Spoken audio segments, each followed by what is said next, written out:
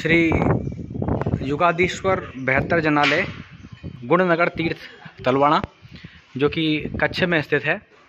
यहाँ पे मैत्री की टीम आ चुकी है।